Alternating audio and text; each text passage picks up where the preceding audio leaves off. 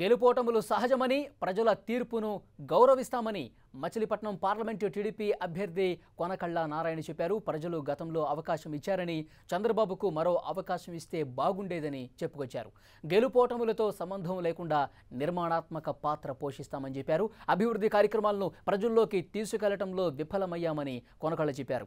ప్రతిపక్షం తమకు కొత్త కాదన్న ఆయన ప్రజలతోనే ఉంటామని స్పష్టం చేశారు.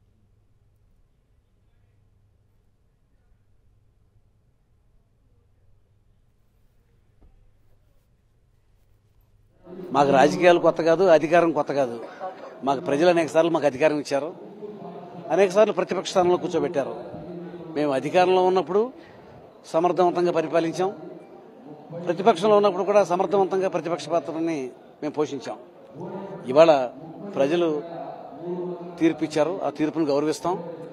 మేము ప్రతిపక్షంలో కూర్చుని ఈ ప్రభుత్వాన్ని సక్రమంగా నడిపించడంలో మా పాత్ర మేము హండ్రెడ్ పర్సెంట్ సక్సెస్ఫుల్గా చేస్తాం. దీని గురించి మేము ఆందోళన చెందాం. కానీ ఈవీఎంల ద్వారా అవకతవకలు జరిగే అవకాశం ఉంది అని చెప్పి మేము ముందు నుంచి కూడా ఇవాళ ఎన్నికల రిజల్ట్స్ వచ్చిన తర్వాత కాదు మేము చాలా కాలంగా మేము పోరాటం చేస్తా ఉన్నాం. బ్యాలెట్ పద్ధతి మీద అయితే అవకతలు అవకతవకలు జరగవు కాబట్టి బ్యాలెట్ పద్ధతిని ప్రవేశపెట్టండి. ఈవీఎంలు వద్దు అని చెప్పి మేము అనేక సార్లు పోరాడాం. ఎన్నికల కమిషన్ కలిసాం ఈ పది సంవత్సరాల్లో అనేక సార్లు చెప్పాం. మరి వాళ్ళ రోజున ఈవీఎంల్లో పొరపాట్లు జరిగే అవకాశం ఉంది. అయినా కూడా మేము ఒక ఈవీఎంలదే తప్పంటలేదు. ఇవాళ ప్రజలు అనేక సంక్షేమ కార్యక్రమాలు చేసే ఈ ప్రభుత్వాన్ని గుర్తించి మరింత వాళ్ళు ప్రభుత్వం ద్వారా అనేక రకాలుగా వాళ్ళు ఉపయోగం పొందాలి. ఇవాళ రోజున వాళ్ళు గుర్తించకపోవడం అనేది దురదృష్టం.